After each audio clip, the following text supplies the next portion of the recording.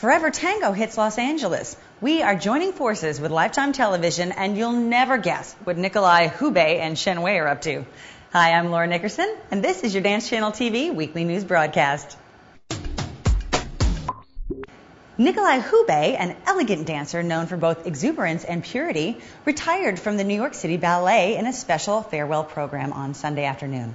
In July, he will follow in the footsteps of Henning Kronstam, a teacher and ballet master with whom he worked closely to become the artistic director of the Royal Danish Ballet. Among many others, Hübbe's farewell performance will include Balanchine's joyful Western Symphony, one of the first ballets he performed.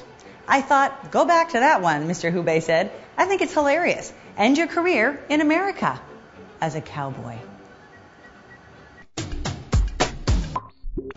Shen Wei is going to contribute work for the opening ceremonies of the 2008 Beijing Olympics.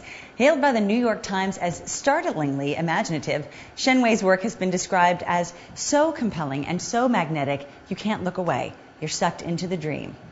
I don't know. I'm betting that his contribution will be a highlight of the event. Luis Bravo's Forever Tango, the internationally celebrated entertainment event that is played to great acclaim in Europe, Canada, and throughout the United States, will open at the Wilshire Theater in Beverly Hills for four performances only, February 29th and March 1st. We visited a rehearsal and we will give you the full scoop right here on Dance Channel TV.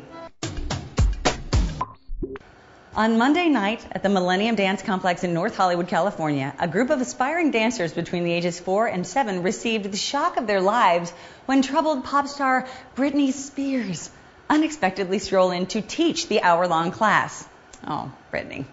She's been a client for 10 years and she loves dancing and she loves kids. Robert Baker, the director of the complex, told MTV News.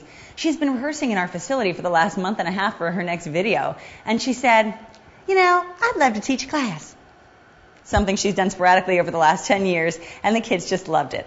He said she asked me to pick some kids for her to teach. The kids loved her. She was warm and friendly. Who knows? Maybe Michael Jackson will swing by and teach a breakdancing class. Last but certainly not least, Dance Channel has hooked up with Lifetime to give our viewers the behind the scenes skinny on Lifetime's new dance reality show, Yo Mama Don't Dance. We'll be there every week to interview the cast-offs, show you behind the scenes footage, and to keep you up to date on all the joy and tears of this fantastic new show. So check back with us next week for more details. It's going to be really cool. Well, thanks for joining us. I'll see you next week on Dance Channel TV's weekly news broadcast. Bye bye.